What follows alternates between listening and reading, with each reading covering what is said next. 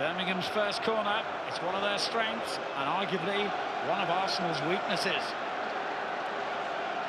Larsson will take. Headed into that crowd of players and they've scored! Against all the odds! Zigic on target! It's Birmingham who take the lead and the favourites Arsenal who have a major problem! Well, it's normally Nikola Zigic getting the first header and it's all about the second ball. But it was all about the second ball here, wasn't it? They get a bit of luck in that it goes straight to the giant Serb. When they initially get the flick, is it Roger Johnson, who's normally so powerful in the air, he does a job for his team.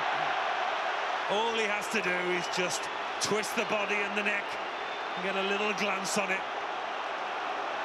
Szczesny arrives on the scene a little late.